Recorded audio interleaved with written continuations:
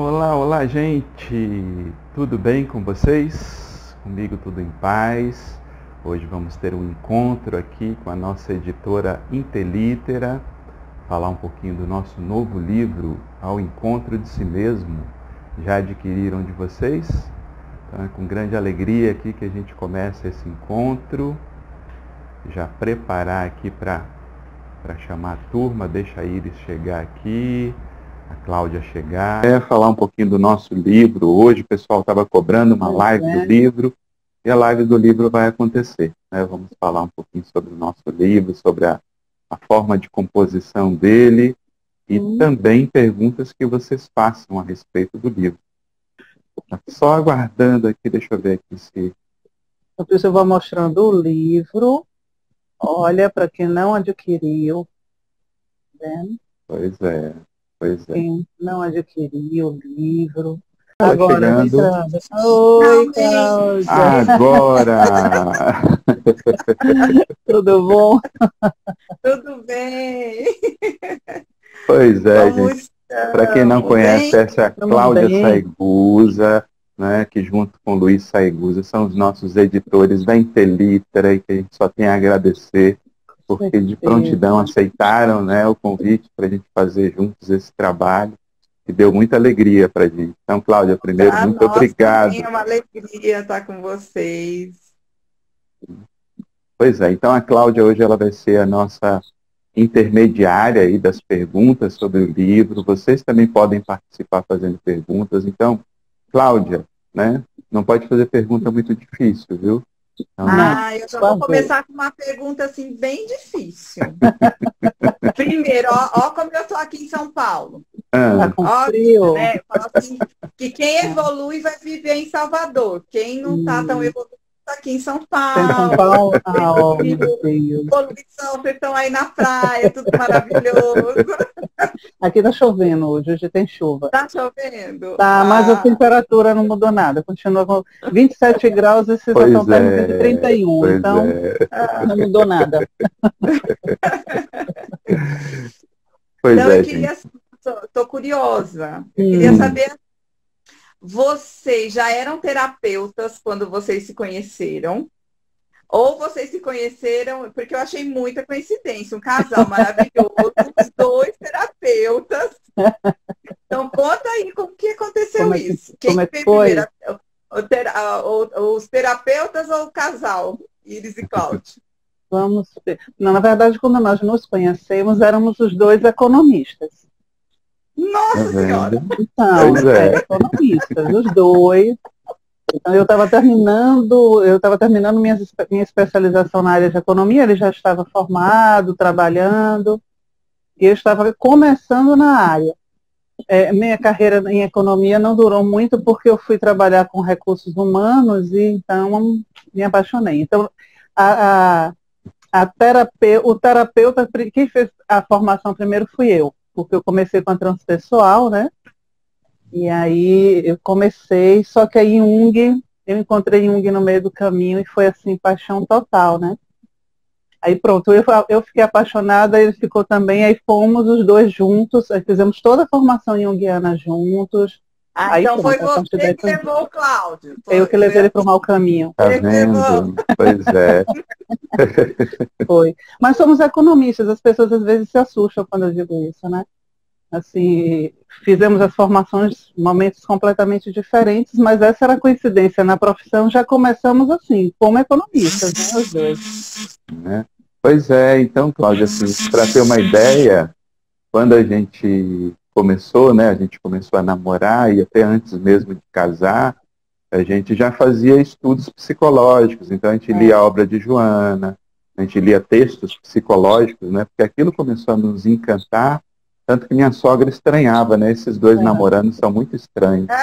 Porque eles vão para a varanda, ficam lá estudando livro de psicologia, ela passava assim, olhava meio estranho, né? Então ali já é. começava assim, sabe aquela coisa que vem de dentro, assim, um, algo que vai formando. Então quando a Iris fez a formação terapêutica logo dela, né, aquilo acendeu ainda mais para a gente a, vontade de fazer um caminhar é. terapêutico. Então e veio complementar com a leitura de Joana de Ângeles também. Então tudo isso então, foi a o arcabouço. junto com o Jung, como que foi? Ou Joana vocês chegou começaram primeiro. a ler Joana e a Joana despertou em vocês o- o- a vontade de, de aprender mais sobre Jung? Como que foi? Na verdade, assim, então, eh, Joana chegou primeiro, né? Então nós já estávamos, eh, Joana chegou, na, estávamos namorando ainda, então eh, ela chegou primeiro, depois com a formação, quando eu fiz a formação transpessoal, então como ela é, ela é, ela é bem ampla, né? A gente vai estudando várias, várias linhas, eu entrei em contato com Jung pela primeira vez. E aquilo foi algo assim, disse, gente, como é que eu não sabia que isso existia? Porque aí eu me dei conta que eu já nasci em Guiana, então assim, me encontrei, né? E aí foi ficando mais clara a leitura da Joana. Então, quando o Cláudio também entrou em contato com a leitura do Jung, aí a gente fez, é, realmente, né? Mas é, o, o grupo de estudo, por exemplo, vai surgir já depois, quando já estávamos fazendo a formação, já estávamos praticamente terminando a formação junguiana. Mas o Jung meio que atropelou, assim, ele chegou sem pedir licença, foi uma coisa arrasadora. É, é curioso, assim, porque a obra de Joana, embora seja uma obra, claro, que faz uma ponte transpessoal muito grande, mas a estrutura da psique que Joana utiliza é uma estrutura junguiana. Então, todos os conceitos ali a gente encontra de arquétipo, de complexo, de sombra, de persona. Então, todos esses conceitos são abordados nas diversas obras. Dali foi só instigando mais para a gente aprofundar e con- concluir com uma formação junguiana que só veio a complementar assim, a forma de, de ver a vida, de enxergar a vida. Então, assim, para a gente foram complementos que foram surgindo ao longo do tempo. Aqui, ó, tem um comentário da Clau Rossetti, que ela fala que ela também é terapeuta e foi a Joana que apresentou Jung. Jung Tá vendo? Pois é. Então é apaixonante, né? Pois é, e E- eu trabalhava, em, eu trabalhava em banco na época, imagina, né? Então, assim, Olha, durante muito tempo conciliei as duas atividades, agora só a atividade como terapeuta mesmo, que eu me, que eu me dedico. olha.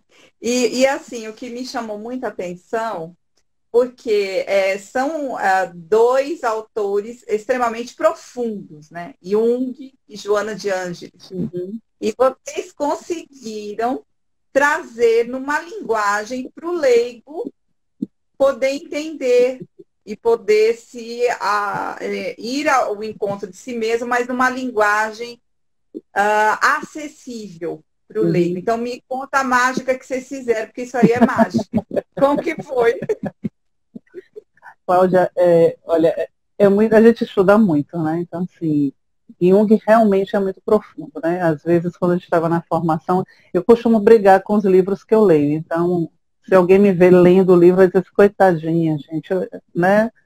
Tem que internar. Porque eu brigo, eu disputo com o autor, eu fico zangada, boto de castigo, é um horror. Então, a, a formação junguiana é uma formação, é, eu diria, tensa, né? Porque é muita coisa. Jung, ele fez algo inédito, né? A época, ele estudou muito. E Joana não é diferente. Então, as pessoas às vezes falam assim, como é que vocês conseguem pegar duas coisas tão profundas e ficar estudando isso como se fosse ali, na esquina? Só que eu acredito que a prática terapêutica é que dá essa condição para que a gente possa falar para o outro de uma maneira mais, vamos dizer, uma proposta do próprio Jung, né? De alma para alma. Então eu entendo, pelo menos assim, que a, a teoria, toda essa parte muito complexa de tudo isso, não importa muito para quem vai ler. Né? Não adianta ficar dando uma, uma doutrinária sobre o assunto para quem está tá tentando fazer um processo de autodescoberta. Então, acho que a prática terapêutica é que deu essa bagagem, essa condição de dizer assim, não, vamos conversar aqui, porque quando eu estou escrevendo, eu imagino, eu, eu, costumo imaginar a pessoa que está lendo. Né? Então, às vezes eu estou escrevendo ali, eu digo, gente, nem eu vou entender isso aqui, deixa eu tirar de novo, deixa eu arrumar isso aqui. Porque eu, eu penso nisso, né? Que essa pessoa precisa ser acolhida ali naquela leitura, e a gente tenta, pelo menos, é bom, o resultado é gostoso, as pessoas terminam dizendo isso pra gente. Assim, ah, deu para entender, agora eu estou conseguindo compreender melhor, e a intenção é essa, né? É, essa prática realmente ajudou muito, porque a gente tenta traduzir uma, nas, nas aulas mesmo, como se fosse uma conversa com o paciente. Então ali a gente já traz elementos, não só para que a pessoa entenda uma teoria, mas para entender o que está acontecendo dentro dela mesma. Né? Tanto que é um retorno muito, é, muito né, feliz para a gente, a gente fica muito feliz com o retorno das pessoas que dizem, poxa, me encontrei tanto naquilo que você escreveu, né? É, tirou uma dúvida minha, ou, poxa, eu vivo aquilo efetivamente. Então, passar isso né, de uma forma assim que a pessoa não só compreenda, mas se veja naquele processo é muito satisfatório. Né? E vem um pouquinho com a prática também, de escrever, acho que né, a gente ajudou muito, a gente né, tem algumas colunas que a gente escreve, então isso ajudou muito a, a criar. Sou filho também de jornalista, então já vem de berço, e pai de Iris também trabalha em jornal, então acho que ajudou muito esse ambiente já né, da escrita muito desde cedo para a gente, né? isso facilitou um pouco. É, aqui ó, o pessoal está falando, né, que a linguagem que toca o coração é simples. E vocês conseguiram isso, né? No, no livro, é, percebe assim que vocês realmente conseguiram tocar o coração das pessoas num tema extremamente profundo. E aí eu queria perguntar para vocês dois qual a emoção de receber um prefácio de Joana de Andes. É, foi muito então, interessante. É, é, é, é, curioso, né? No, no Espelhos da Alma, que foi um livro desafiador, né? Porque ela propôs assim, ah, eu, eu, é, é, a, proposta era, ela daria os temas, e a gente escreveria, é, mas ela pediu, assim, ela foi muito taxativa no pedido, que fôssemos junguianos. Foi no Em Busca, né, né Iris? No Pô, em Busca. Em busca da, é, da em busca dos espelhos, é, em busca da iluminação interior.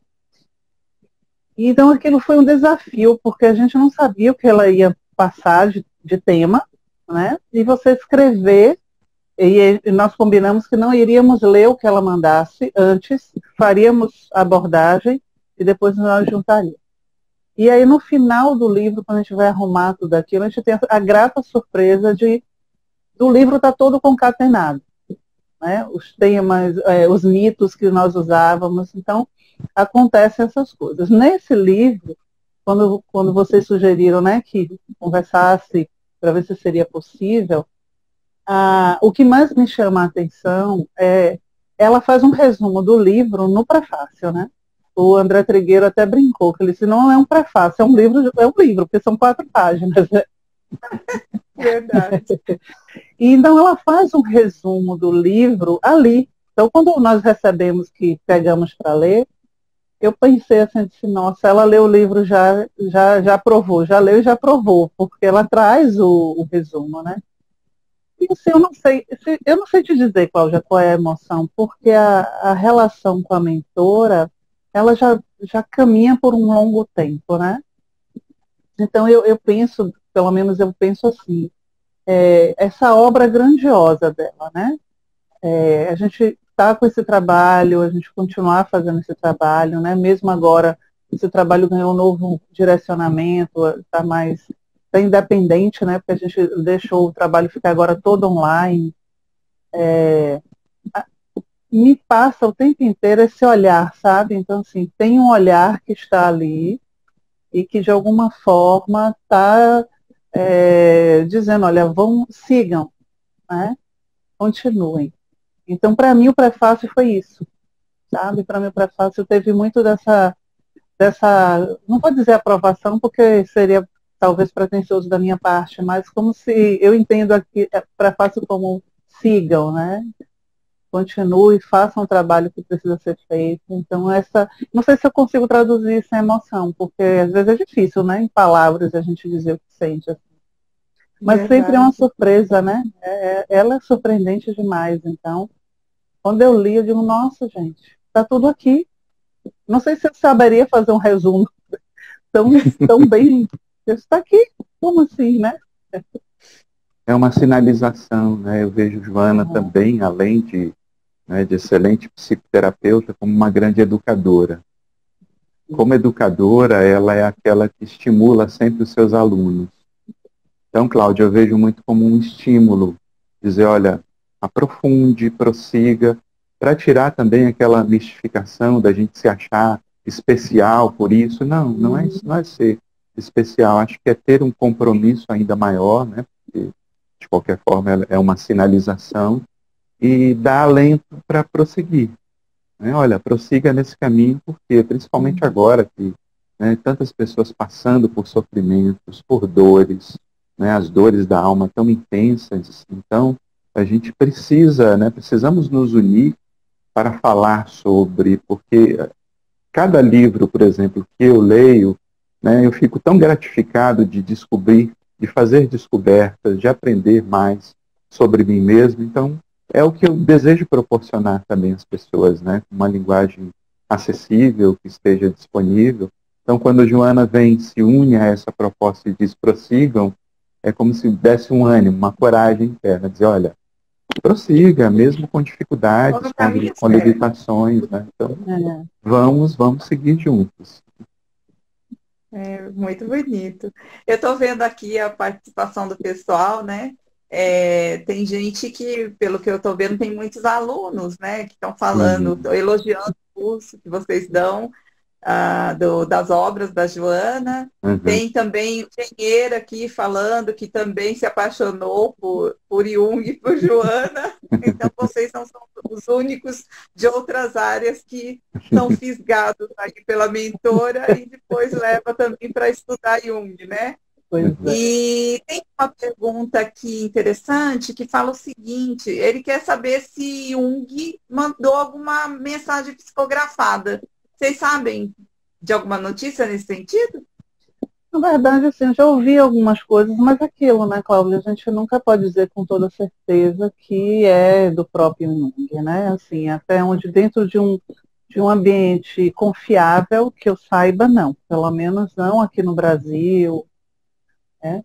Mas assim, olha, eu, eu sou uma espírita um pouco, né, às vezes assim, não pareço, como é que eu vou dizer assim, eu não acho que isso é o mais importante. Eu acho que Jung deixou uma obra maravilhosa. Então, se a gente mergulhar, né, na, não só na obra dele, porque é realmente uma obra muito difícil para um leigo pegar e tentar entender, que ele tem uns, uns livros que só né, você tem que ler quase de cabeça para baixo para ver se consegue entender alguma coisa. Mas assim, se você pega a história da vida dele, a dedicação dele ao trabalho, o quanto ele era afetuoso e amoroso. Jung, ele, ele transborda uma afetividade que é impressionante. Acho que isso é o mais importante, é o legado que esse homem deixou, né? Agora, não sei se ele psicografou, não sei. A, a Joana, em uma obra, ela cita que ele cumpriu o trabalho dele, que era trazer uma psicologia que seria uma ponte para um futuro perceber se compreender parte do processo psíquico e o espírito, né? Essa atuação entre os dois. Mas que esse trabalho não era dele, sim dos junguianos e daqueles que viriam pós ele. É, e que ele, ele e Freud se, reconciliaram no mundo espiritual, né? então, foi assim, para mim a mais confiável de todas as mensagens foi essa, né? Então, que eu saiba, assim, confiável, aqui no Brasil eu, eu não, não sei. Mas sabendo dessa realidade do próprio espírito, né, muitas vezes eles trabalham de forma anônima, acredito que inspirando até mesmo a, a, aprofundar pontos da obra dele que não puderam ser aprof aprofundados à época, né, mas que as novas necessidades surgem. Então, de alguma forma, esse trabalho permanece também né, na, na espiritualidade, rico né, em toda a sua potencialidade, né, talvez de forma anônima, e a gente nem se dê conta. Né? Mas o importante é que prossegue de alguma forma. E, assim, como foi para vocês uh, saber que o livro de vocês estava entre os mais vendidos da Amazon? Quando, assim do lançamento, já foi uma é... aceitação total. Pois é. É, é, é, muito interessante. A gente tem uma turma que são muito queridos, né? Tem muitos deles aí na live. Eu não sei nem se, se a Andrea está aí hoje, agora. E ela começou logo no início. Ela comprou o livro e começou a olhar a numeração. Eu confesso a você que eu nem sabia que dava para saber em que, loca, em que colocação fica, né? E aí ela me mandou, assim, acho que estava na época, acho que foi logo na primeira semana, foi logo pro 29 alguma coisa assim, né? E aí a gente ficou assim, gente, mas eu não tinha noção, sabe? Não tinha noção nenhuma de, do que era aquela contagem, nada. Quando vocês mandaram que estávamos em primeiro, aí, aí foi que, sabe que vocês disse, nossa, meu Deus, e agora faz o que que o livro está? que o livro está em primeiro lugar, como é que fica isso agora? e aí foi, foi ótimo, né? Foi uma experiência. É, aí entra essa parte, sabe, Cláudia, de você parar e pensar assim, nossa, é, o livro ele, ele, é composto de muitos artigos que vínhamos escrevendo ao longo dos anos, né? E que a gente ampliou para o livro, né? E, foi... e aí você para e faz assim, nossa, esse livro estava sendo preparado há tanto tempo e a gente não sabia ainda, né? Que ele seria um livro e que ficaria assim, entre os mais vendidos, é, eu olhei ontem, ainda está, né? Está assim, uma boa colocação ainda, acho que em décimo. Então aí a gente vai se dando conta mesmo que é uma responsabilidade, que há realmente tudo isso acontecendo junto, né? Eu acho que qualquer qualquer escritor, sabe? Eu sou uma leitora assim, eu sou devoradora de livro, né? Você está vendo aqui onde eu estou atrás, aqui não é nem metade do que eu tenho.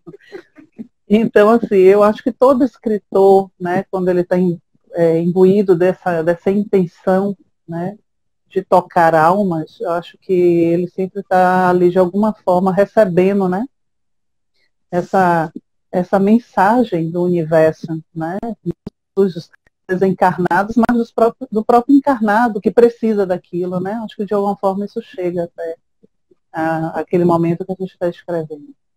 Mas foi fantástico, né? Aí, claro, que dentro de casa, Semana Santa, passamos com a família juntos depois de dois anos. Aí toda hora eu falava com a minha mãe, eu disse, olha, né, pode falar para as amigas todas que o livro da sua filha está em primeiro lugar na mas ela nem sabia o que era isso. isso é o quê? Eu digo nada não, mas só posso dizer isso. Essas coisas são boas quando a gente não espera, né, Cláudia? Assim, é verdade. Não tem, na é verdade, verdade. assim, a expectativa, porque o grande prazer é escrever, é lançar algo que você uhum. acredita, assim. Então, foi efetivamente uma grande surpresa. Né? É fruto de um trabalho conjunto, do trabalho de uhum. vocês, né? De uma capa linda que fizeram, né? da diagramação é. com letras.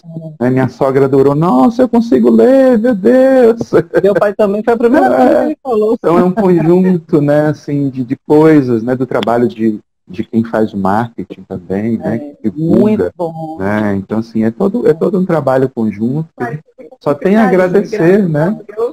O carinho é, né, de amigos é. e amigas que ajudaram Sim. também a, a divulgar. É. Até hoje a gente recebe, né, nos stories, uhum. o pessoal falando, o livro chegou, que maravilha.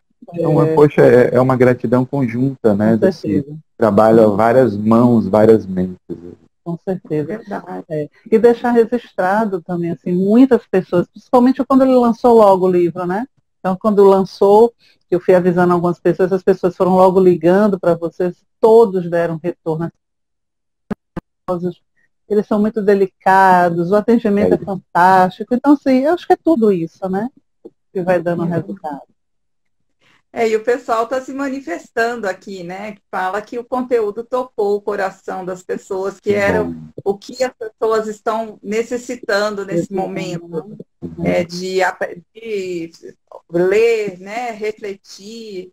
Então, o pessoal está aqui se, se manifestando aqui nos comentários. E tem uma pergunta que fizeram que ficou lá para trás, mas ficou aqui na minha mente. Ah. Uma pessoa perguntou o seguinte: é, a Joana de Ângeles, ela encontra com Jung lá no plano espiritual? Como vocês têm notícias disso? Como que é?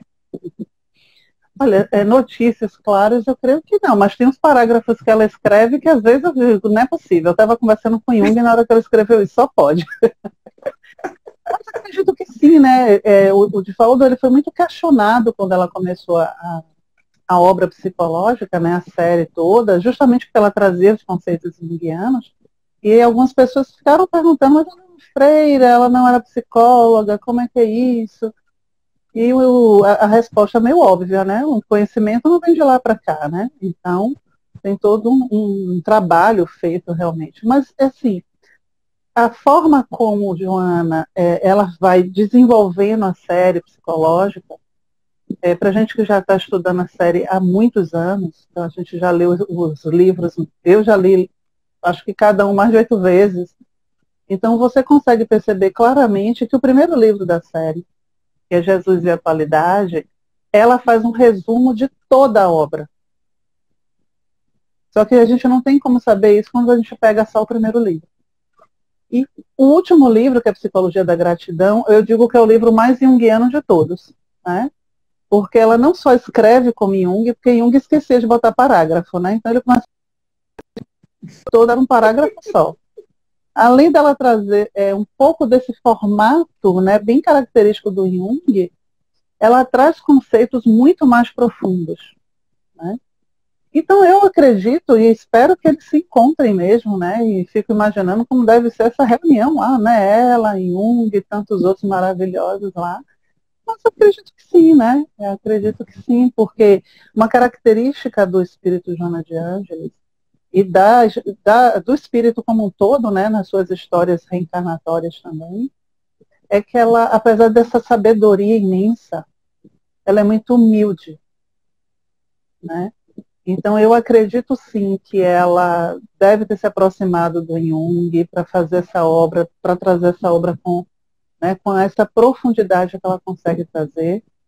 Eu acredito que sim, pela, principalmente pela característica dela. Eu sempre digo assim, olha, a Joana de Ângeles, ela, é, ela escreve e ela reconhece o valor do autor que ela está citando. Então, eu, eu, sempre brinco, eu vou saber eu sempre sei identificar um texto que é de Joana, por conta dessa, dessa forma dela. Então, se ela vai citar a Sagioli, Jung, ela normalmente ela, ela cita o nome e ela dá, né, ela dá o lugar desse, do trabalho, que eu acho que é, é assim que a gente deve fazer mesmo, né? Para quem dedica a sua vida a trazer conhecimento para a gente. Então, eu acredito que por esta característica principal né, dela, assim, dessa humildade do, e do reconhecimento do saber do outro, eu acredito sim que ela deve ter se aproximado dele.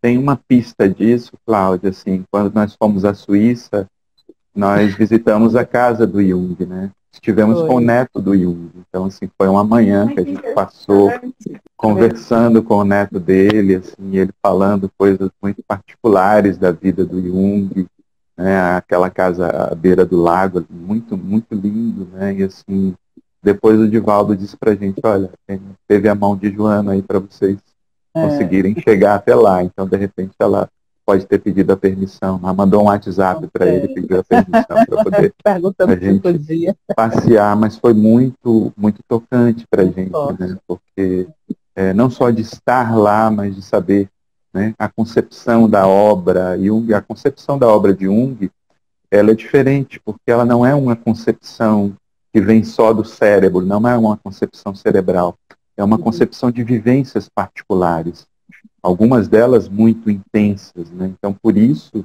que se traduz numa psicologia da alma, né? Então, acho que isso sinaliza uma boa possibilidade desse encontro de pessoas que trazem uma psicologia para a alma humana. É, aqui o pessoal continua os alunos aí se manifestando, falando que só conseguiram entender Joana com vocês. E realmente, assim, vocês têm esse dom, né? Porque vocês conseguirem trazer numa linguagem acessível a Joana e o Jung foi um trabalho, assim, uh, maravilhoso mesmo, né? E olha aqui, ó, tá falando, ó, eu amo esse casal. Fiquei ah, fã quando vi a crise dos estudos espíritas. Aí, ó, o pessoal aqui amando. Adoro você. E, e, assim, uma das características do livro é que, assim, todo capítulo vocês abrem, ah, principalmente com uma, um trecho de uma letra de música. Então, como que foi? Vocês escreviam o capítulo, iam buscar a letra da música, a letra surgia da. Como que, que deu, se deu isso? Porque é um casamento assim, fora de série. É, na verdade, assim, isso foi obra da Cláudia, né, de, um, de uma amiga nossa.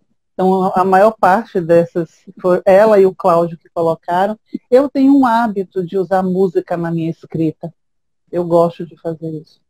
Então, eu uso música, às vezes, algum trecho de poesia, é, porque, assim, eu entendo que nós, nessa nossa particularidade, né, somos tão particulares, eu acho que você tem que usar todos os recursos possíveis para alcançar o outro. Então, muitas vezes, a pessoa, ela ouviu aquilo tudo, leu, não entendeu nada, mas a música é o que faz ela parar e, e voltar e tentar reler aquilo, né? Então, acontecia de alguns textos, como, como é, a gente trouxe muitos artigos, então eu já, às vezes eu começo com uma, um pensamento de um outro autor, né, alguma coisa assim. Então, para ficar tudo casado, então precisava, a ideia foi não, em vez de retirar, colocar, né? E assim ficou maravilhoso, né? Eu também tive surpresa com algumas letras, porque como não fui eu que tinha feito, né, todas, assim, quando ele disse, nossa, mas a gente é perfeito isso aqui. A música foi feita no texto. Aí eu falei, nossa, será como que foi, isso, né? Foi uma ajuda preciosa, Cláudia Bandeira e Moisés Pissete, ó. Beijo, porque ajudaram, inclusive, a gente numa primeira das revisões, né? Porque, assim, essa obra, ela é curiosa, Cláudia, porque ela ficou dois anos parada numa editora anterior. Foi. e depois a gente entendeu, porque assim, enquanto junguianos, a gente tem que ter um olhar simbólico das coisas, né? Uhum. Então a gente olhou, peraí, por que está parado isso? Mas quando surgiu a pandemia, a gente entendeu por que estava parado. Né? E aí colocamos novos capítulos, né? É, agregamos temas também aos próprios capítulos que trouxemos, sugestões suas também, de trazer exemplos de paciente que foram assim, né, fundamentais Muito também para a composição da obra, enfim. É por isso que eu digo, foi uma, uma obra a várias mãos, e a várias mentes que foram dando assim toques pessoais, olha, coloca isso aqui, né? E a gente foi agregando, aceitando, né, até chegar à composição final aí da obra. E assim, existem alguns temas que vocês assim foram muito felizes, né? Eu sou apaixonada pelo espelho, espelho meu. ah, eu adorei quando vocês fazem essa, essa ponte, né, com o que a gente conhece, e aí vocês trazem o conhecimento que vocês pretendem passar para o leitor. Então, quando vocês fazem, tem vários capítulos, não é só nesse, né? Ou quando vocês fazem aquela a, o estudo do Pai Nosso, coisa mais linda é, a Cinderela, assim, vai ser feliz para sempre. então, assim, eu achei muito interessante porque você consegue, dentro de uma realidade que eu conheço, uhum. Então, assim, ah, eu conheço, então o espelho, espelho, eu conheço, a Branca de... E aí vocês, dentro daquilo, vão trazendo o conhecimento profundo de Jung e Joana. Então, é, assim, sensacional. Eu achei, assim, fantástico. Como que foi essa ideia de, de concretizar para a gente o nosso, nosso dia a dia, o nosso conhecimento prévio, com esse conhecimento que é. trazem. É, eu tenho algumas pacientes, elas estão aí, daqui a pouco elas vão concordar comigo, elas dizem que eu estrago todos os contos de fada. Porque eu trabalho muito com contos de fadas, né? E a, a linguagem junguiana, ela abre para a gente esse espaço, né? do, do mundo simbólico, que é um mundo maravilhoso. Então, é, você pega uma linguagem, que é essa linguagem mesmo, do conto de fada, da mitologia, é, a linguagem dos sonhos, né? O sonho é uma linguagem também assim, né? muito, muito subjetiva. É, quando você traz isso para um diálogo, a gente pode comparar isso da forma sábia que Jesus vai falar com, com as pessoas, né, através de parábolas, ele vai usar símbolos, é, você consegue trazer a pessoa para um entendimento praticamente imediato, que não importa se é certo ou errado, mas é aquilo que diz respeito a você daquela história que a gente está te contando. Né? Então, é, é muito do Jung fazer isso, né? Então o Jung ele tem uma, uma habilidade impressionante. Quando nós conhecemos o neto dele, foi um encontro maravilhoso, passamos a manhã inteira com o neto do Jung, né? E assim, foi um encontro emo emotivo demais, né? Ele se emocionou, a gente, eu não preciso contar, né? Porque eu acho que até agora eu ainda estou, quando eu paro para lembrar, assim, eu digo não. Eu Quando não... que foi isso? 2011. Foi 2011. 2011. Nossa. 2011. É. Primeiro e... que ele é a cara de Jung, né, Iris? Não, então... gente, é. é. Quando ele abriu a porta, eu fiz, se ninguém falar nada, eu tô vendo em Jung. Mas se todo mundo é? der bom dia para ele, então é o neto, mas muito parecido com Jung. Então, o impacto, né? Você já se deparar com ele. E ele contou muitas coisas para a gente que não está nos livros, né? Não está tá escrito em livro, mas ele como neto, então ele, ele contou para a gente assim, por exemplo, né? Para te ajudar a entender por que, é que essa linguagem simbólica vai aparecer, né? O Jung, ele tinha um jardim lindíssimo, então a casa dele é rodeada de um jardim belíssimo, que ele próprio cuidava. E que em algumas situações, os, os, pacientes, dependendo do paciente que ele fosse atender, ele mandava ir para lá e ele sentava e os dois iam plantar rosas, né? E ali ele ia usando o simbolismo daquilo para o processo daquela pessoa. Então, essa é a forma da gente chegar de alguma maneira, né? Então, a, eu, eu, gosto de dizer que eu gosto de brincar com os, com os pontos, com os mitos, né?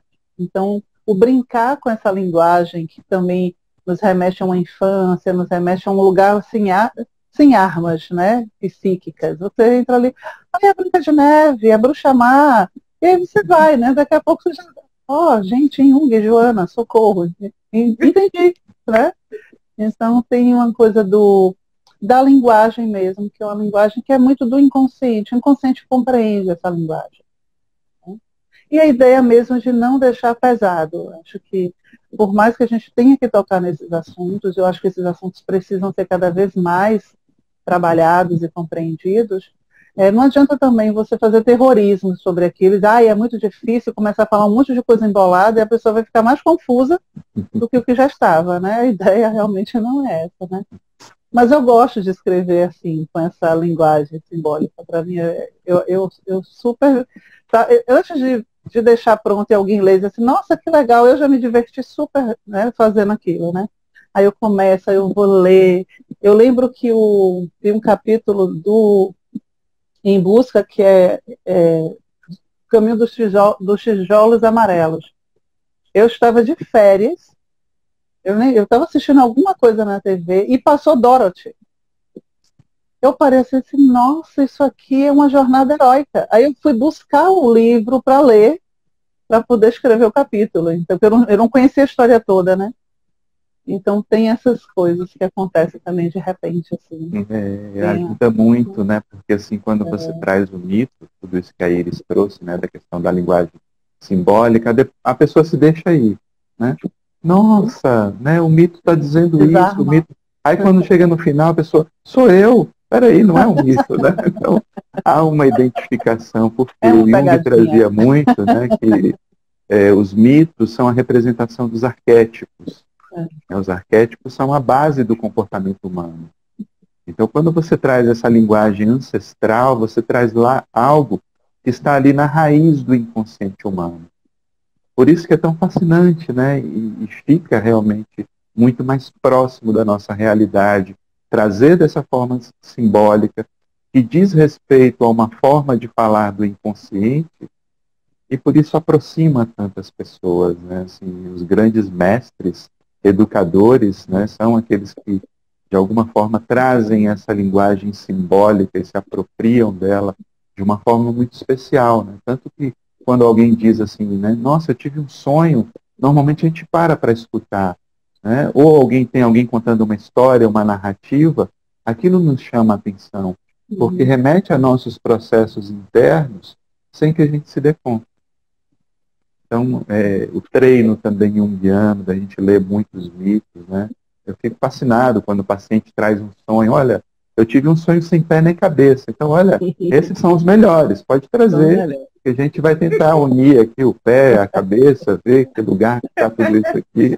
porque essa linguagem do, do, simbólica do inconsciente, ela é, ela é fascinante, ela é muito rica, né? e por isso também acho que vale a pena né, a gente trazer na forma de escrito, a gente sempre gosta de trazer um mito, um conto, né? tanto que agora a gente tem um grupo terapêutico, um deles né, trabalha o Pequeno Príncipe, ah, e a proposta legal. também é daqui a pouco transformar num livro. Aí, que daqui a algum tempo vai sair aí trazendo é, esse simbolismo do Pequeno Príncipe também.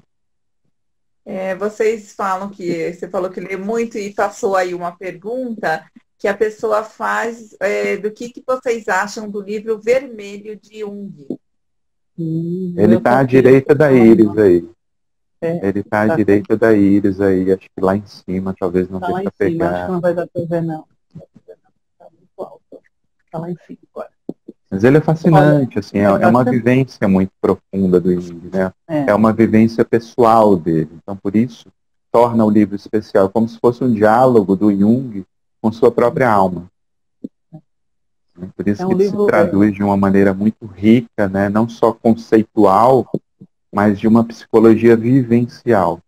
E essa seja talvez uma das maiores riquezas dessa obra, né? além das ilustrações que Jung faz, porque toda a obra é ilustrada, e Jung era um, era um artista excepcional, né? ele, ele consegue traduzir também na forma de arte, né? de uma maneira muito profunda e bela. Então, o livro vermelho se traduz, não tão fácil talvez para um leigo, mas é um livro muito profundo né, que merece sim a pena ter atenção sobre ele. No ano que nós fomos, quando nós fomos visitar o neto dele, foi o ano que o livro foi lançado, porque faria o aniversário de 50 anos de morte do mundo. Né? 50? É isso mesmo. É. E aí é, nós chegamos lá, então nós tivemos também acesso ao original do livro, né? aquelas folhas com desenho, as mandalas que o Jung desenhou. Estavam todas lá e o Neto mostrou para a gente isso. Então a gente ainda teve esse contato. É, o livro, é, é como o Cláudio disse, ele não é um livro simples, não é um livro que talvez para alguém que não conheça é, Jung, não no sentido da, sua, da vida dele, mas da obra mesmo, tenha muita dificuldade de entender o livro. É, porque foi um livro que ele foi escrevendo no decorrer da vida dele. Né? Não foi um livro que ele sentou e escreveu. Não, foram anotações, como se fosse um diário né, que ele fez. E o livro contém muita alma, o livro é visceral. Né? Então o livro passa pela depressão que ele teve, pelo processo dele com Freud, é, pelo processo profundo mesmo que ele entrou por volta dos 40 e poucos anos. É, e aí ele vai, é, é, quando você pega o livro vermelho, você vai compreendendo o que é a teoria da psicologia junguiana, né? Que é uma psicologia, como a Cláudia disse, não é uma psicologia que ele deduziu fazendo, pegando coisas de fora. Foi o processo dele. Então, aquilo tudo que ele foi vivendo, que ele ia anotando, ele foi percebendo que aquilo era um processo. E um guia estudioso, assim, para a época, você imaginar, eu, eu, tive o prazer de ficar na biblioteca do Jung, né? Claro que era o lugar que eu ia querer ver logo, né? Então, no meio daqueles livros gregos, né? Tudo ele me deixou lá. Eu, eu, eu nem respirava com medo de estragar o negócio, né? Então, ficava lá parada, nem como eu não morri. Então, Jung, ele leu livros, o que ele pôde ter acesso de livros de várias culturas, ele teve. Então, ele vai estudar alquimia, ele vai estudar é, línguas mortas para poder entender livros, é, é, símbolos que ele achava. Ele foi um, né, o homem realmente, eu sou suspeita, tá? Quando eu começo a falar de Jung, eu fico muito empolgada. Mas o livro vermelho, então, é, traz tudo isso. Né? Então tem relatos fortíssimos e que, infelizmente, e me entendam quando eu digo infelizmente, algumas pessoas já leram algumas coisas do livro, resumem o livro em tipo, a Jung teve experiência mediúnica. E esse gente Jung não era espírita, esquece isso. Né? Jung não era espírita, Jung não é, ele não tinha nenhuma religião formal, apesar de ser filho de pastor e de vir de uma família de muitos religiosos. Jung ele entendia a religião como um lugar da psique. Tanto que ele dizia assim, olha, não adianta brigar com isso, a psique é naturalmente religiosa, não vai brigar com isso. Mas ele não tinha uma religião. Então, não adianta a gente tentar encaixar Jung nessas coisas, porque você perde muito do conteúdo quando você faz isso. Né? Eu acho que uma das coisas que talvez tenha facilitado muito para a gente poder hoje trazer, fazer uma linguagem mais acessível, é que a gente estudou Joana antes de estudar Jung. Vamos dizer assim, separados. A gente estudou os dois separados, para depois juntar. E toda vez que eu estou no, no, curso, que eu começo, os alunos logo no início, que começam a fazer perguntas, gente, entenda primeiro o conceito. Depois vocês tentam juntar com o espiritismo, mas primeiro entenda o conceito, porque senão você perde, né? Então tem coisas maravilhosas no livro vermelho, assim como nos, nos livros negros, né? Que é uma outra obra que sai depois, é, proféticas até, né? Jung escreveu coisas que você viu acontecer depois, porque ele analisava os sonhos dos pacientes. Né? Então, quando ele previu a Segunda Guerra, ele previu por conta dos sonhos dos pacientes dele. Não é porque ele tinha né, telepatia, nada disso, não. Ele analisou o inconsciente coletivo, né? Aquilo que estava chegando até ele. Ele era um homem, sim, muito sensível, muito, muito. Sim. Ele conta experiências, Cláudia, dele com 11 anos, com 12, que você diz assim, não é possível uma criança conseguia perceber as coisas dessa forma tão profunda, né? Mas acho que tem isso, né? A gente deixa Jung sem Jung. Né? Acho que isso ajuda muito. Mas um livro é uma obra maravilhosa, o livro vermelho. Quem perguntou aí, estiver interessado em comprar, agora tenha paciência né, para ler. Não queira ler e entender tudo de vez, não, porque a gente já tem o quê? Uns, uns seis anos, Cláudio? Lendo aos poucos, mais ou menos isso. E aí vocês traduzem para a gente, né? Pronto, filho, eu... é, a gente vai tentar. e aí você vai conseguir terminar. sorte de ter você. Inclusive, nós temos pessoas aqui se manifestando, que vocês falaram que vocês não são educadores, mas eles falam que sim, vocês são educadores, porque vocês educam almas. Ai, que linda, então, obrigada. E nós vimos também pessoas que estão interessadas em comprar o livro. Uhum. É, eu queria dizer que a pessoa pode adquirir ah, nas grandes livrarias, pode adquirir através da Amazon, através do Hiperlivros, tem vários sites que estão vendendo. Então, e que possam, é, é uma preciosidade, né? Que é, a Joana mesmo fala, né? Que a, eu achei assim, a, nós, a, tanto que nós destacamos essa frase dela, que ela fala assim, a obra que se vai ler é um guia seguro para facultar o autodescobrimento e remanejar a conduta, de modo a diluir as matrizes emocionais das morbidezas e agonias. Né? Quando vocês falaram que ela conseguiu, no prefácio, fazer a, o resumo, mas essa frase aqui, ela, ela resume assim. É. De, ela tem uma, uma forma de concisão, é. de passar a mensagem fantástica, impressionante, é, né? É impressionante. Olha que eu conheço, a, a gente lê a, a, obra há anos, né? Que trabalha com essa obra já há muito tempo. Eu ainda me surpreendo. Tem horas que eu fico assim, mas Joana, como é que você consegue isso? Porque é impressionante. Primeiro que essa linguagem que consegue ficar atualizada, né? Então, assim, você tem uma, uma escrita, uma narrativa que pode durar tanto tempo, isso é realmente uma arte, né? Não é fácil. E ela se encaixa muito bem, né? Outro dia eu peguei uma frase do livro Oferenda, se não me engano, é de 70. Eu fiquei lendo, isso não é possível que isso aqui é de 70, gente. Não, não faz sentido algum. Ela escreveu isso foi hoje e eu só consegui ver agora. É porque ela, ela antecipa muitos temas, né? Se você pensar na própria composição da série psicológica, que começa nos anos 90, né, final ali da, da década de 80, era o período que estava começando a internet. Então haveria uma revolução no comportamento humano, né? houve uma revolução no comportamento humano. Então ela se antecipa trazendo uma base psicológica né, para que as pessoas se compreendessem melhor, até para entender seus próprios conflitos. Né? Mas claro, muita gente diz, mas Joana é difícil, é complicado. Eu costumo falar, ela não é complicada, ela é complexa, porque os problemas psicológicos são complexos e são profundos. Tanto que tem determinadas frases, né, que eu, eu e Iris a gente brinca, a gente diz, olha, vamos começar do final da frase, porque no final ela diz qual é o, a finalidade, o ponto que ela está querendo chegar. Né? E a partir desse ponto a gente vai destrinchando. Tanto que o nosso estudo, a gente seleciona frases e vai destrinchando aquelas frases, conectando com, com conceitos junguiano, grande parte deles, né, e de, de outros autores, para que a gente leia, né, e, e aquilo ao mesmo tempo seja um espelho para a gente. Espelhe, né, essa, essa realidade interna do ser. Então é muito, é muito, ela tem uma capacidade enorme, né, de, de síntese, né, fantástica. Então realmente quando ela trouxe o, o prefácio, essas essas frases assim sintetizaram muito bem qual era o nosso objetivo que a gente nem sabia, né? Mas ela soube é, traduzir né?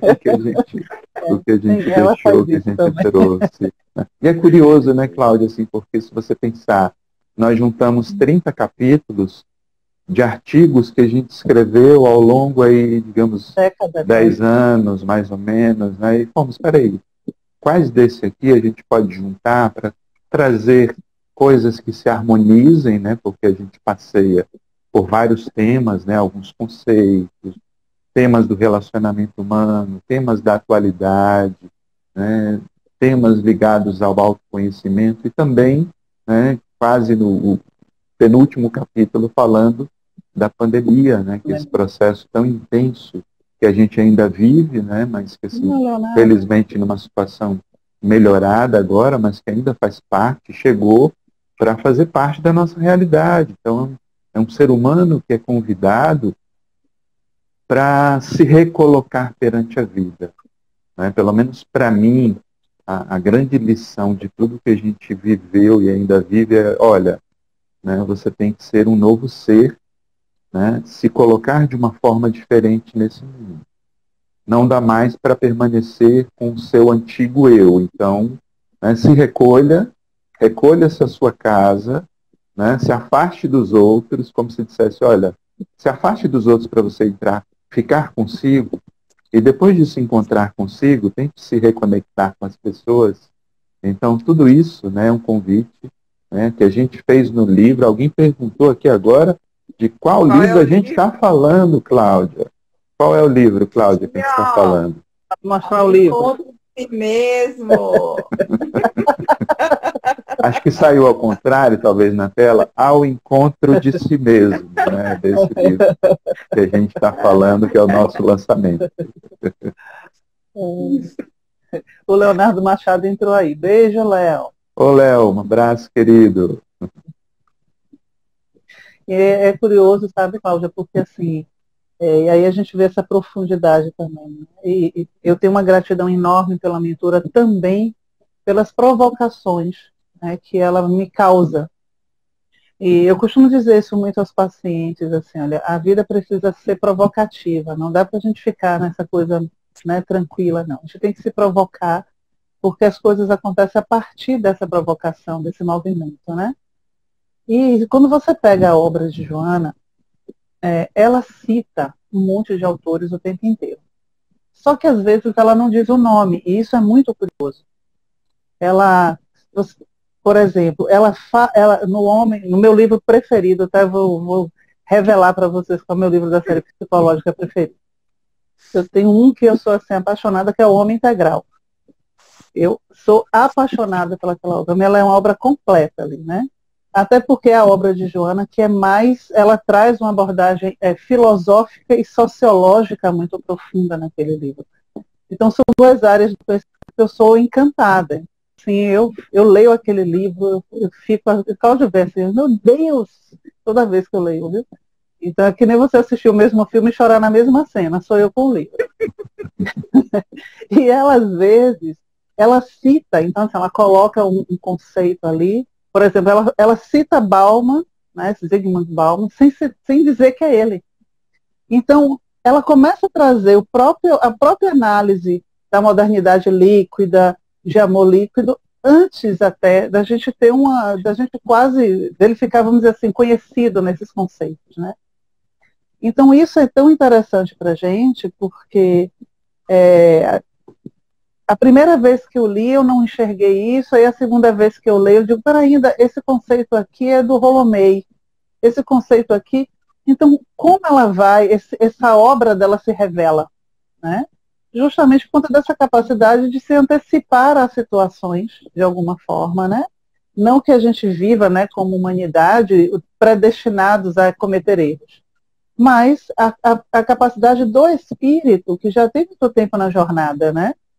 De conseguir dizer assim, olha, tem isso aqui, essas obras já estão sendo feitas, já está escrito, vocês um dia vão ter acesso. Então, eu acho que quando a gente se dedica a uma leitura, vamos dizer assim, uma obra como é a obra de Joana, ou ao nosso trabalho de autoconhecimento, é isso que acontece, né? É a mesma coisa. Quando você vai mergulhando em você para se conhecer, é como você descobrindo coisas novas todo dia. Então você desce um pouquinho, aí dá uma ajeitada ali, arruma ali aquele lugar, aí daqui a pouco você desce de novo assim, mas como é que eu não vi? Não é assim quando a gente faz arrumação em casa? Né? Aí você fala, como é que isso estava guardado nessa gaveta eu não vi né, durante tanto tempo? Então é a mesma coisa. Então, eu acho que isso também é muito interessante do processo. Eu tenho uma gratidão enorme a ela por, esse, por isso, né? Então, assim, se eu sempre, eu, eu sempre, eu, eu, digo que eu sou uma pessoa extremamente curiosa. Isso é um problema sério para mim, porque se eu estiver lendo um autor, se ele citar cinco autores, eu quero ler os cinco que ele citou, porque eu quero entender melhor o problema. Então ela faz isso, comigo ela faz isso, né? Então acho que aí, voltando pra, para o resultado aqui do encontro, é, de si mesmo, né? Então, quando você pega o livro, é possível que você, com certeza, você percebeu isso, como a gente passeia por vários autores também. Né? Então, na série a gente faz isso, né? É, nas aulas a gente, porque ela conversa com autores contemporâneos, ela conversa com Sócrates. Então, é algo assim, né? Uma pessoa conseguir fazer isso não é, não é, não é para qualquer, não é qualquer um que consegue, né? Conversar, atravessar o tempo desse jeito, né? E é assim, a, o Cláudio até falou, né, que a, o livro nos ajuda a fazer essa viagem interior, que é necessária, principalmente nessa época de pandemia.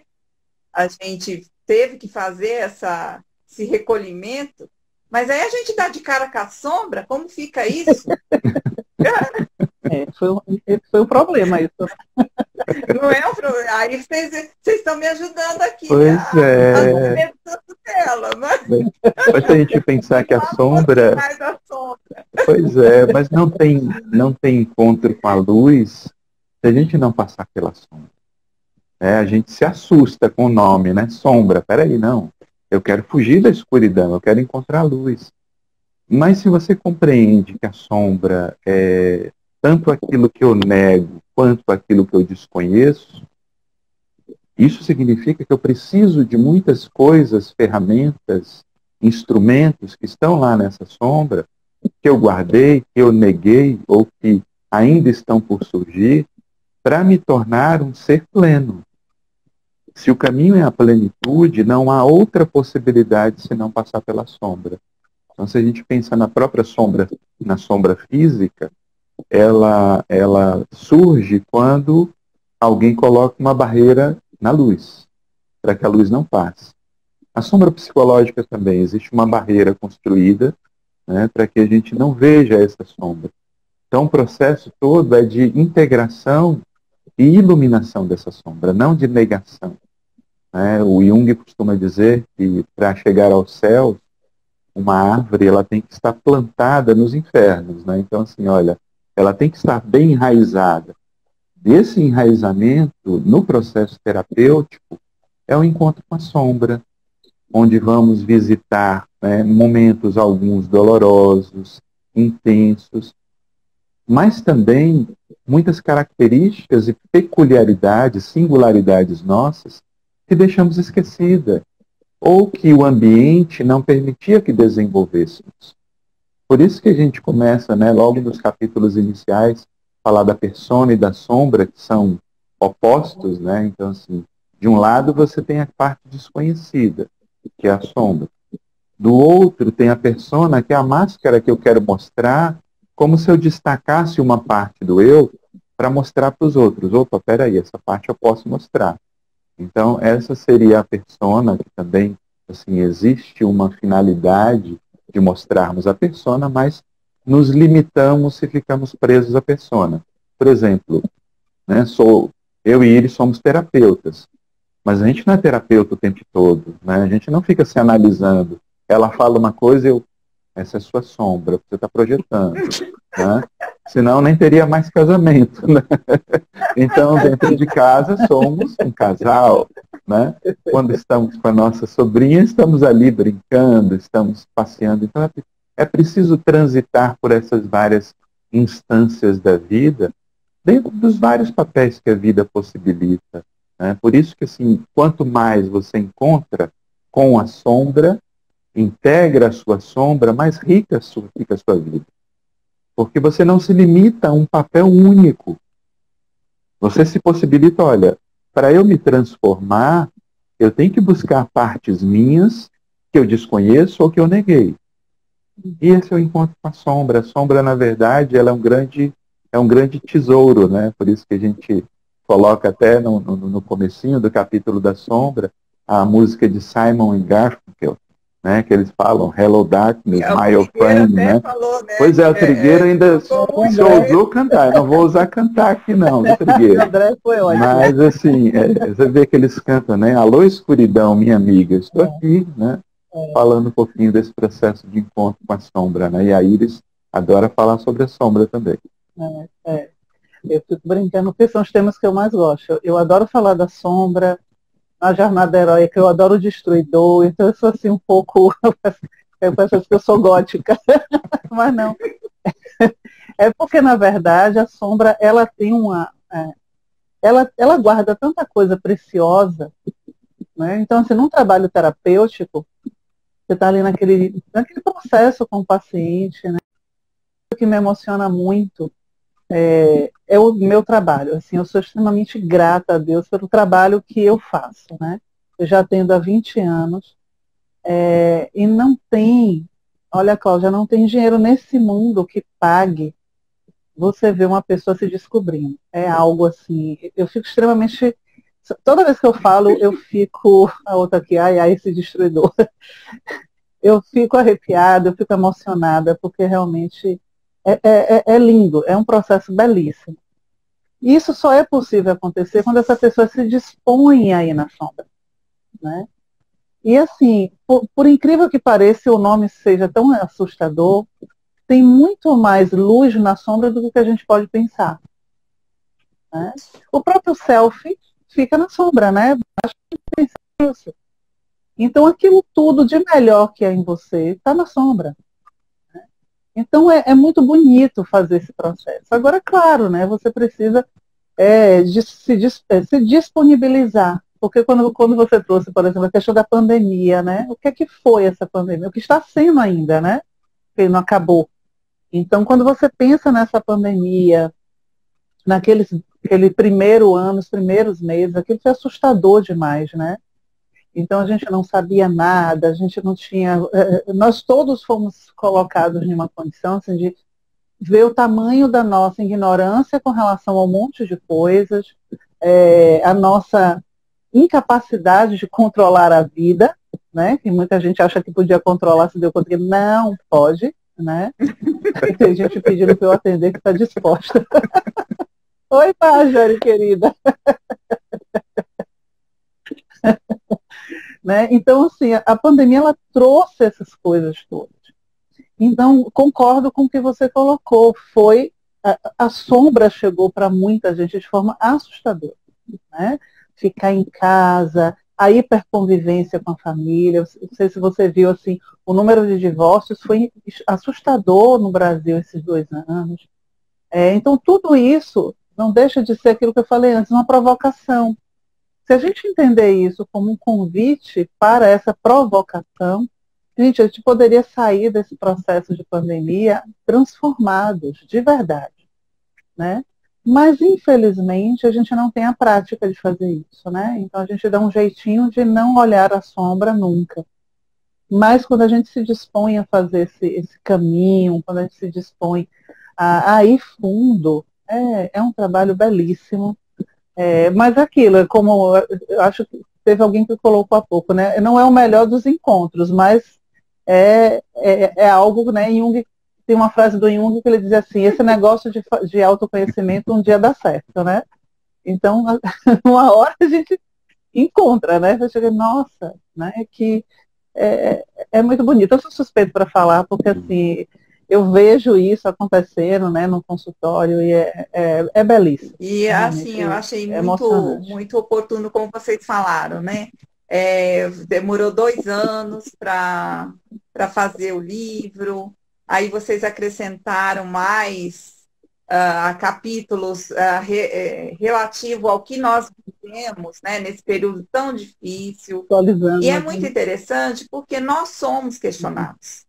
E vocês trouxeram é, uma forma profunda, mais simples, que a gente possa estudar o livro para auxiliar outras pessoas que estão passando, tem muita dúvida. Então, é, uhum. é um livro que vem mesmo com apoio nesse momento tão difícil que a gente está passando. Não que nós vamos nos transformar em terapeutas, né? o leitor não, não é. vai, porque tem uma pergunta aí, como é que faz para mergulhar nas sombras, né? É, mas não que lendo o livro é, nós vamos nos tornar terapeutas, é terapia, é mas é um guia que a gente pode estar é. auxiliando as pessoas a ter uma resposta é, mais. Ah, ah, vamos de novo. Qual é o livro? Qual é o livro? Qual é o encontro de novo. De novo. Ah, o encontro do livro si aí, mesmo, Natu. Seja bem-vinda. então, eu acho assim, é muito gratificante para nós, como editora, é publicar um livro com conteúdo tão maravilhoso, é, tão profundo e ao mesmo tempo tão didático, que vocês conseguiram é, unir as duas coisas, né? É, de uma forma assim tão grandiosa e ao mesmo tempo tão simples é, e num momento tão de necessidade das pessoas, de tanta necessidade. É, então é a minha, a minha aqui é, é gratidão total. Eu nem é. sei quanto tempo nós temos ainda, Cláudio, se deixar. Também, a gente está em uma hora e dez, a gente pode responder mais algumas questões aí, se surgirem. Hora e dez. Né? É, então é, gente... Se tiver perguntas aí, fica tempo que nós estamos falando né, que o livro não é, não vai nos transformar em terapeutas, mas tem uma pessoa que ela queria que vocês deixassem uma mensagem para os terapeutas que trabalham com, com as obras de Joana de Ângelo. Hum. Olha, eu acho que a mensagem principal é, não seja terapeuta quando você estiver na, na, sala de aula dando aula para a pessoa, né? Por que, que, eu digo isso? Assim, eu acho que é, a gente sempre teve esse cuidado muito grande, sabe, Cláudia? Porque é, às vezes as pessoas querem respostas imediatas e a gente sabe da agonia né, que as pessoas vivem, a gente sabe das angústias, mas é, é muito perigoso isso né? Porque assim, aquela pessoa que está te perguntando não é seu paciente, você não conhece ela. Né? Você não conhece os milímetros, você não conhece a sombra, você não conhece nada daquela pessoa. Então, às vezes, é, a pessoa é, ela pergunta porque ela quer saber uma, a resposta para o processo dela. Né? Então, em uma sala, é, se está num grupo né, que se propõe a estudar Joana, dentro de uma casa espírita ou não, porque é uma coisa importante de se falar. Joana de Ângeles hoje é estudada por quase todas as religiões. Ou seja, pessoas de diversas religiões montam grupos de estudo para estudar a obra de Joana. E isso é algo fantástico. Né? Então, diversos grupos que entram em contato conosco, é, grupos dentro de centros de Umbanda, grupos dentro de igreja católica, né? então grupos de diversas religiões, pessoas que não têm religião alguma, e eles estão estudando a Joana. Então, como também tem essa linguagem que ela consegue simplesmente adentrar e né, fazer essa transformação acontecer. Então, eu diria assim, se você, tá, se você tem um grupo, se você monta um grupo, se você é terapeuta ou não terapeuta, eu, eu, eu gostei muito dessa colocação sua, é importante, né? É, ali não é o espaço para o trabalho terapêutico, ali é, ali é o espaço para o ensinamento, para a gente conseguir trabalhar é, entender aquele conceito, ter paciência. Eu digo, gente, não tenha pressa para entender as coisas, nem para passar correndo os estudos. Fica ali com seu grupo. Eu, eu sempre digo, a quem se interessa montar um grupo, estude primeiro. Né? Estude primeiro, monte ali quatro, cinco pessoas que vão ser os responsáveis pelas aulas. Estude primeiro, né? tire suas dúvidas, porque, Cláudia, é muito tentador ser terapeuta dos outros, sabe? É um negócio assim que é uma tentação mesmo, né?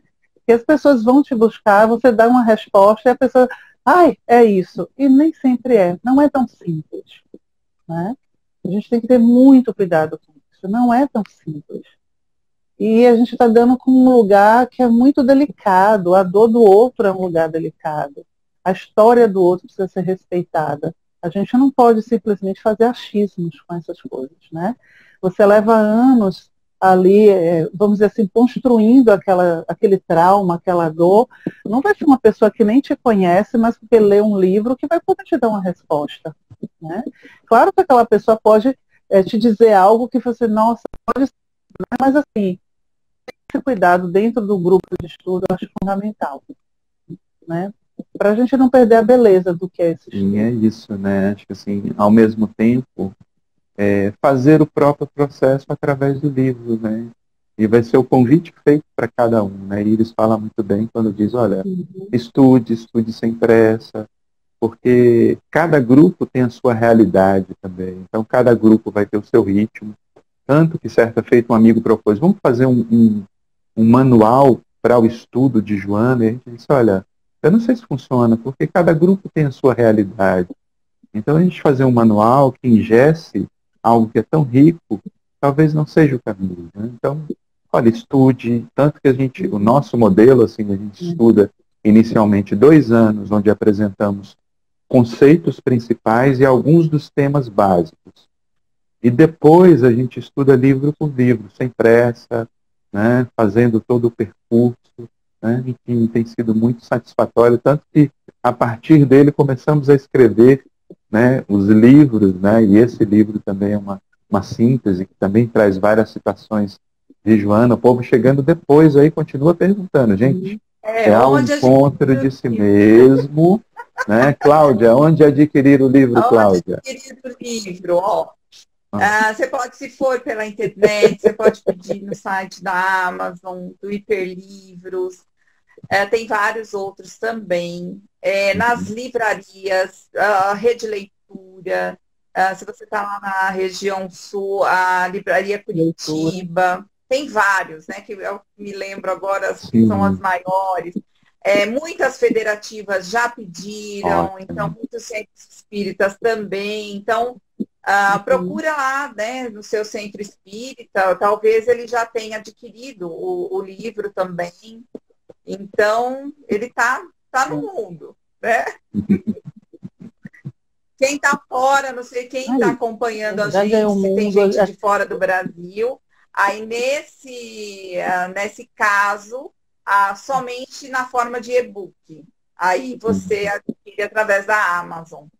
É, porque para a gente enviar para fora do Brasil fica inviável, Isso, né? O livro uhum. físico.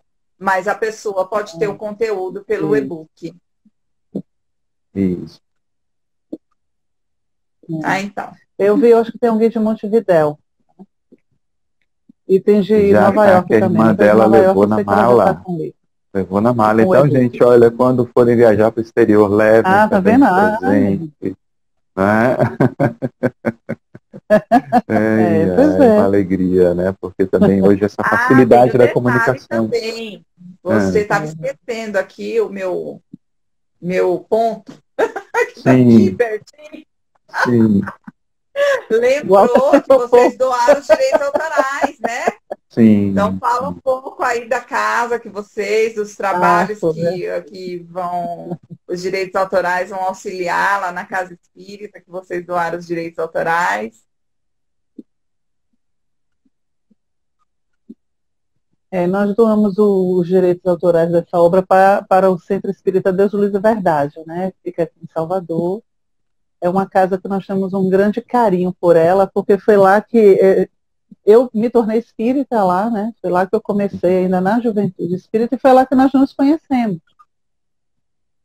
Então, nesse período agora da pandemia, então, na verdade, a gente é uma casa que também a gente faz o estudo da série psicológica. Né? E aí agora, com o período da pandemia, nós, o, o, trabalho ficou muito direcionado com eles. Eles são, assim, pessoas... É uma família, na verdade, né? Então, eu, eu me sinto parte da família deles. E isso é, é, é além de, independente da casa espírita, tem toda uma relação mesmo, assim, de amizade, de muito carinho por todos eles, né? A Bernadette, Vanderly, o Ataíde, então são pessoas muito queridas. E aí quando nós estávamos bem nesse período, né, entramos em contato com vocês, o livro, e aí nós nos perguntamos, e aí, o direito autoral vai para onde agora, né? E aí a gente não teve dúvida, né? tinha que ir para eles por vários motivos, mas principalmente pelo acolhimento deles. Então, em alguns momentos, em um momento, na verdade, bem específico, assim, que não estava sendo muito fácil algumas coisas para a gente, eles abriram as portas e disseram o grupo de estudo pode ficar aqui.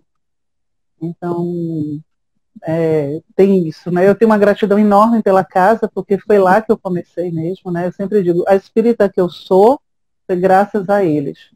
Todo o estudo, tudo, né? Porque eu era muito jovem, então você chegar numa casa espírita, assim, então, juventude espírita, muito estudo, né? Todas aquelas questões. Andrezão, um beijo, querido. E, e então, assim, tem uma gratidão enorme. E aí coincidiu de novo agora, né?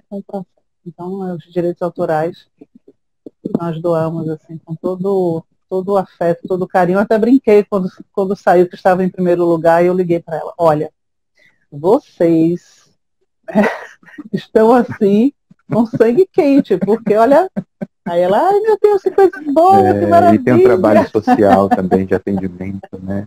Acho que assim, Cláudia, nessa época de tantas Muito necessidades bonito, sociais, né, que a gente vê a carência imensa, né? As injustiças que, que existem, elas colocam um vão né, de separação entre as pessoas, né, que o mínimo que a gente possa fazer. Então, assim, como a gente recebeu tanta generosidade, carinho, afeto, pessoas que se uniram para que o livro ficasse pronto, né, a gente vai fazer essa energia circular. Então, né, para nós é, um, é um, grande, uma grande alegria né, uhum. para essa casa que acolhe essas famílias, pelo menos assim, é, é pouco, mas é alguma coisa. Então vamos unir os nossos, né, as nossas pequenas contribuições né, e dar maior alegria assim, saber desse trabalho, realizar e dar sequência, né, porque é, é aquilo que a gente estava falando, né, até quando chegou em primeiro lugar, eu brinquei com a Iris, olha aí, eu não tenho roupa para participar da solenidade, né, de primeiro, primeiro lugar na Amazon, não tenho essa é, roupa. É, agora? Né? Mas, vamos seguir adiante, que a gente sabe que tem um trabalho maior pela frente, né, que possa seguir e fluir né, com outros tantos que sejam possíveis para a gente. A gente sempre gosta de falar isso, né? Porque além da pessoa estar tá levando um, um, um, conteúdo muito rico para si, né? Para a sua vida, para que ela possa se conhecer melhor, para que ela possa se colocar melhor no mundo, para que ela possa também auxiliar no, dentro dos limites, sempre lembrando que esse livro não vai te transformar em terapeuta, mas eu tenho certeza que vai uh, fazer você ser uma pessoa melhor, a ver o mundo de uma outra forma. E, e a, uhum. é, ela, além disso, de estar tá levando essa uhum. mensagem, ela está levando também auxílio para essa casa, né? É, espírita, que é com todas essas obras, né? A obra uhum. social. A gente sempre gosta de, de, de falar, né? Para que a pessoa saiba disso também. Sim, é. É. E é uma casa, Cláudia, que eles, eles prezam muito pelo estudo. Então, assim, eles têm estudo todos os dias da semana. Domingo, às sete da manhã, eles têm um grupo de estudo. Porque eles tentam fazer com que todos os horários possíveis tenham a possibilidade de você estar na casa estudando. Né? Então, isso é algo que eu também eu prezo muito por isso. Né? Você está estudando, você ter aquele o apoio ali, pessoas que possam estar sempre disponíveis para estar te passando a mensagem, estudando com você. Então, é uma outra coisa que na casa é bem. Sempre pois foi assim. É, né, gente? Então, olha, a gente chegando aqui quase uma hora e meia. Alguém perguntou se está em alguma livraria de Salvador. Na leitura. A leitura. Na, na leitura. Adquiriu, na rede leitura. Salvador. Sim, ótimo, é. né? Federação também, né? E no Centro é. Espírita Deus A gente deve fazer um lançamento lá. Está só esperando a situação melhorar um pouquinho. Fazer um lançamento ao vivo lá também. Depois a gente pode programar nas livrarias Veja aqui. a hora de encontrar vocês nos congressos. pois é, né? É. Deixa essa pandemia embora. Enquanto tiver pandemia, eu não saio da minha casa. Fico bem quieta aqui. E uma das coisas também, as pessoas às vezes me perguntam, mas você não está saindo, já está podendo sair? Eu digo assim, olha, eu preciso ser exemplo. Eu não posso um processo desse, onde eu falo tanto sobre autoconhecimento, responsabilidade coletiva, consciência social, e de repente eu estar tá na rua andando sem máscara e não posso, porque seria uma incoerência total. Né? Então eu, eu ainda estou insistindo nisso, né? Sempre que eu posso, eu fico dizendo que eu sou a chata da pandemia, né? Então sempre que eu posso, eu estou lembrando a todo mundo, gente, a pandemia não acabou. Existem países que sequer começou a sua, sua vacinação de forma efetiva. Enquanto tiver uma, um país que não recebeu vacina, a gente corre risco de mutações graves desse vírus. Então a gente precisa de fato estar tá entendendo o que é isso, né? Não é o vírus que está ensinando nada para a gente, não. Na verdade, o que fica muito claro para a gente é que a gente precisa muito ainda caminhar na direção desse, desse outro que a gente fala tanto, né? Compreender o que é essa relação. É, há pouco você citou uma coisa que eu acho que casa muito com o pensamento junguiano, né? que é o processo mesmo da individuação. O que é o processo de individuação? Que Jung tanto fala, né? E Joana cita tanto. Processo de individuação é o tornar-se si mesmo, né? Você vai tor é tornar tornar-se a pessoa que você nasceu para ser. Aí às vezes a pessoa fala assim, mas eu não sei o que foi que eu nasci para ser. e a questão é, é, você precisa fazer um processo que a gente chama de um processo de diferenciação. Né? Ou seja, você vai romper com tudo aquilo que te prende, as crenças, né, as questões dos traumas, você vai fazer esse caminho. Então, diferenciar-se é, na verdade, você tentar colher o máximo possível daquilo que é seu. E dentro desse contexto, para mim, essa é a parte mais bonita do processo, dentro desse contexto em que você se percebe, você mergulha na sua sombra, como você disse, o livro não vai transformar você em um terapeuta, mas o que, é que, o que é que o livro pode fazer com você? Ao mergulhar na sua sombra, ao perceber suas dores, você tem um olhar muito mais compassivo com relação ao outro. Você compreende que, assim, assim como você, outro também tem dificuldades. Não são as mesmas, mas ele também tem dificuldades. Então, o processo de individuação, ele torna você um ser humano melhor para você e para o mundo. Não há processo de individuação sem que você não esteja também observando o que está acontecendo à sua volta. Né? Senão não é individuação, é individualismo. E não é essa a proposta, né? Você se tornar individualista. Então, que isso também é algo que nesse, nesse processo todo, e que aí quando Joana fala né, de ser um, uma rota segura, é, eu vejo muito dentro dessa proposta. Então, assim, olha, olha para a sua sombra. Olhou, é bom, não é? mas o outro também tem. Né? Então, antes da gente julgar, antes de você fazer qualquer coisa, compreenda que o outro está vivendo o processo dele, né? que ainda não é o seu, né? mas está vivendo o processo dele. Então, acho que se a gente conseguisse compreendendo isso, teríamos essa pandemia de forma muito mais. não vou dizer fácil, porque ela não seria fácil, mas com certeza com muito mais amorosidade, com muito mais empatia, né? Eu acho que isso foi algo. Pois é, gente, a gente está chegando aqui a uma hora e meia de bate-papo, né? E ficaríamos aqui, né? Outros, outros é. tantos, ah, né, Cláudia? Ele está assim. se escondendo, ele está se escondendo, Cláudio, viu? É, eu vou chamar o Luiz. Ah, ele está falando não. Vocês vão deixar ele não aparecer? Tem Luiz, que falar hoje, saia da sombra, Luiz. Sai da sombra e venha para a luz. Exatamente. Já está acabando. Não, porque senão o pessoal pensa, sou a editora. É, o, É o Luiz, um está escondido na sombra. Então ele Pois precisa. primeiro para a Amazon é um integrar. trabalho de equipe e ele faz parte da equipe, uma pa- parte muito Oh, importante. meu querido! Aê! Boa noite, gente linda. São maravilhosos. Tudo bom? Sou fã de vocês. Oh, querido! É. Obrigado, Luiz. Assim, beijo, Luiz e Cláudia foram obrigada. esses corações generosos que acolheram a nossa proposta, né? E né, ajudaram né, nesse, nesse trabalho né, que ficou assim, né, tocante pra gente. Então, Luiz, querido, gratidão aí por tudo, né, pela sua dedicação.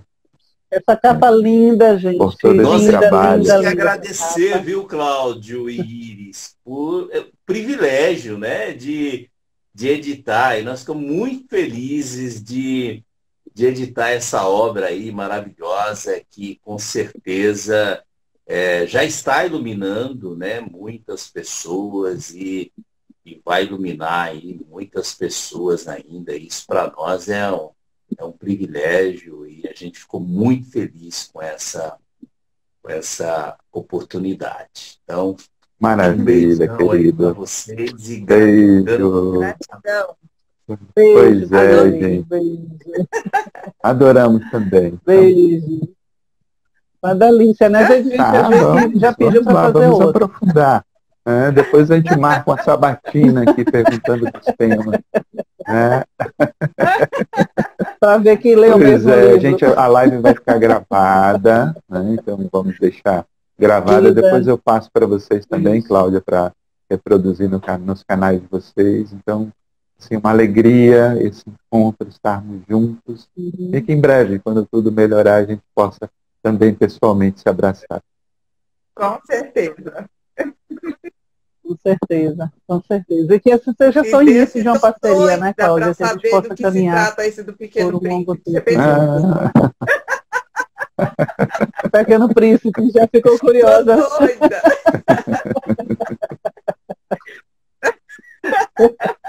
É uma surpresa, o Pequeno Príncipe é uma grande surpresa. então, gente, ó. Beijos, Obrigada pela gratidão, oportunidade. obrigado.